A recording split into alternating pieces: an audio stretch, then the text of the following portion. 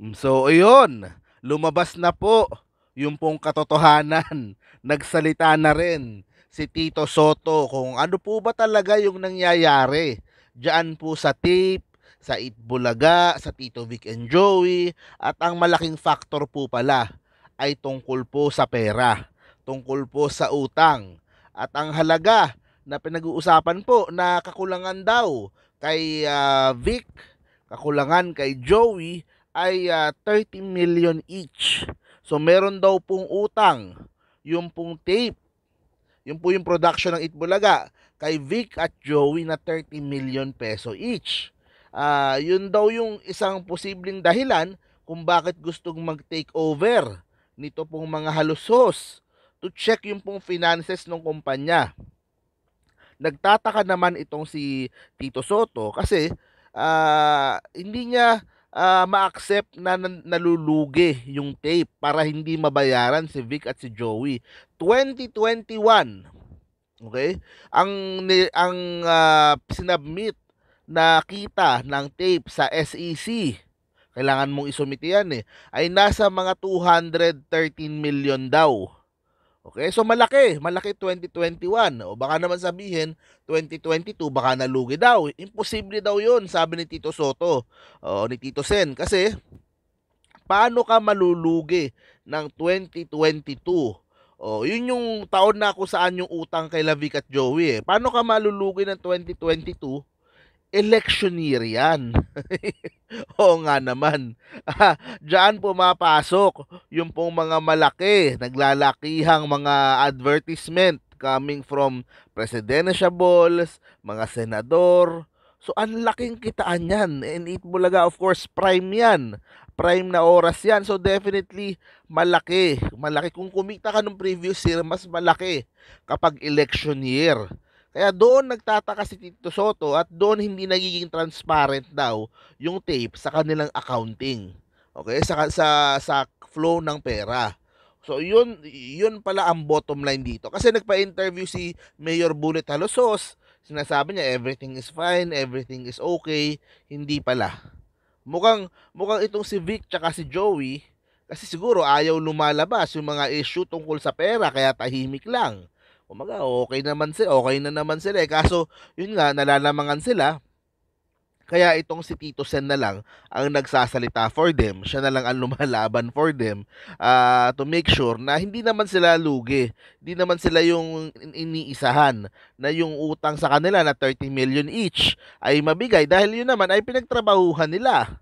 'Di ba? Sila naman talaga ang nagdadala diyan sa show na 'yan, si Vic at si Joey. For the, 'di ba? During that time, si Tito Sen nasa kampanya, 'di ba? So so yung dalawa talaga yung main na, nag- na nagdadala diyan sa Itbulaga and ah, kung yun ang napagkasundaan nilang pera, dapat ibigay po lahat. So yun, yun naman ang punto. So lumalabas na at ah, hindi ko din alam kung bakit umabot na dito sa punto na kailangang i-reveal na ni Tito Soto lahat po ng mga problema between tape and the host. Pero ah, sa akin para para para po ilabas ng ganyan ni Tito Soto, 'di ba? Ilalabas mo ba kung hindi totoo? Eh, kumbaga kasi ano 'yan eh, usaping pera 'yan eh, private dapat 'yan eh. So so nilabas ni Tito Soto. So siguro talagang medyo medyo ano, medyo yung pong samahan merong may lamat po talaga between Tito Vic and Joey at dito po sa tape at nakakalungkot nga po dahil po sa usaping pera. Tingin ko si Vic at si Joey eh napapakiusapan naman siguro yan. Tingin ko eh kumbaga okay na sila eh. Kumbaga well off na sila, 'di ba? Pero pero syempre, ah, paano nga naman mag-move forward yung show kung hindi maayos yung pong mga compensation ng kanyang mga host, ng kanyang mga main host. And um, ayun, eh, ito ito yun guys ha, ito yung reaction ko ha. Ah, alam nyo, ma- maraming ways kasi. Minsan hindi mo namamalayan sa korporasyon, merong isa, dalawa, tatlong tao, baka sila yung nagpa-funnel ng pera palabas. May mga ganun eh.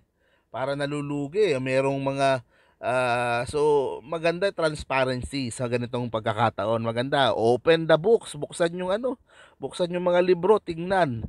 Tingnan talaga at ah, alamin kung anong problema, bakit hindi mabayaran yung mga main host. Bakit ah, ganun na lang kalaki yung utang. 'di ba? At, ah, naku mukhang mukhang nagkalamat pa tuloy lalo. Akala natin okey na, eh, status quo na, eh, oh, tapos lumabas yung ganito, na may utang pa pala. Yun pala ang isa sa mga main reason din kung bakit nagkakalamat na ganyan, 'di ba? So, hindi ko naman ma-gets bakit gustong tanggalin, eh, yun pala may utang pa pala. Eh, talagang kumbaga, eh, al malaking tulong talaga sa Tito Vic and Joey na na dating Senate President, ito pong si Tito Soto. Wala kang maitatago, eh. Oh, ito yung BIR, ito yung sinubmit sa SEC, oh, ito yung sa BIR, ito yung sa kumbaga walang lusot, eh. Yun ang yun ang isang malaking advantage talaga diyan para hindi maisahan ito pong Tito Vic and Joey nung sa tape and, ah, hintayin po natin kung ano po yung sasabihin ng tape tungkol dito. So, ibig sabihin po yung mga lumalabas doon po sa mga publication, yung mga mukhang may source doon sa 8 Bulaga. Mukhang talagang legit yung source na inilalabas dito sa mga publication na 'to para po maikalat.